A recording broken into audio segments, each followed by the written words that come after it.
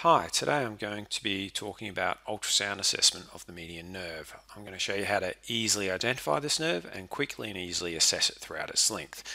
I will also touch briefly on the assessment of its branches as we go, but what we'll do is we'll start with the proximal median nerve and point out these four potential entrapment points.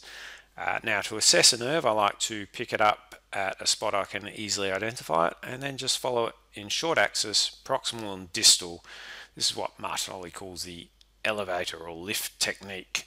So at the proximal median nerve, for the proximal median nerve, I like to pick it up at the level of the elbow joint. So we'll bring up our scanning picture and here we are at the level of the elbow joint. And if we look for the biceps tendon, we'll find our median nerve just medial to it, running with our brachial artery. And then we can just easily follow that proximally under our biceps and we'll follow that up far enough so we can check for any supracondylar process or intact Struthers' ligament which may pull that in towards the bone. And then we'll follow it back down under our biceps and we'll assess where our biceps aponeurosis comes across the top looking for any entrapment there. As we continue down we come under the humeral head of our pronator and it will run between the humeral and ulnar heads um, quite often the ulnar head is absent uh, or very small. In this case, it's absent. We don't have a ulnar head running under this nerve. But as we come out from under the pronator, we then come under the flexor digis superficialis and our fibrous arch of our flexor digis superficialis. So here's our pronator muscle, flexor digis superficialis here, and this little leading edge here, which can be a potential entrapment point where that fibrous band comes down. So you can easily assess that in longitudinal also. Back to transverse. As we continue down uh, the arm a bit further, another potential uh, cause of entrapment is uh, this little guy, which is a little accessory muscle, our Gantzer muscle, or our accessory head of flexor longus. And this is us wiggling the patient's thumb.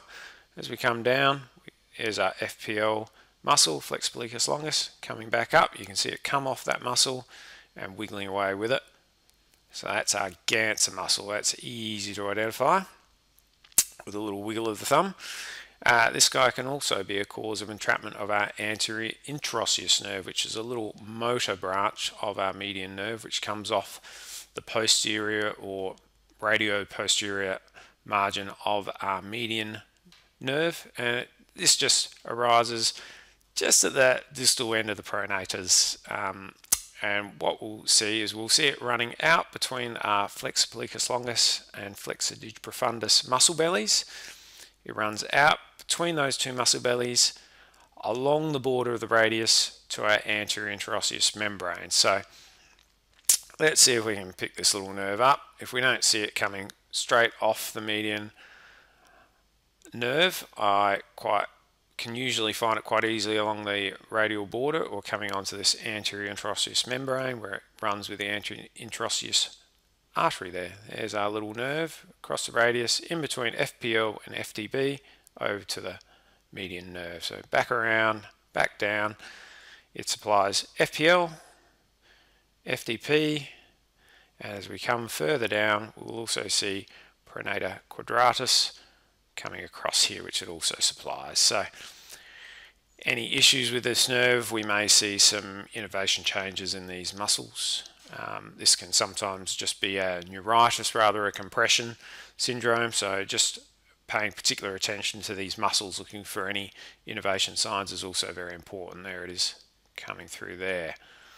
So that's uh, proximal median nerve and its branch. We'll continue down to the carpal tunnel.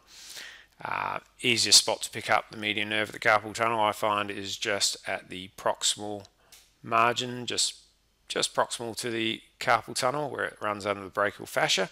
So we'll, we'll look at that and we'll also look at these little branches here which are uh, palmar cutaneous branch and a recurrent motor branch and we'll have a chat about those as well.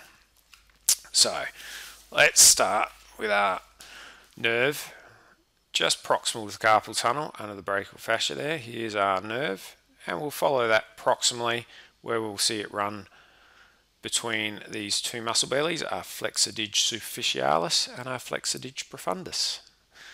This little nerve is running with a recurrent median artery.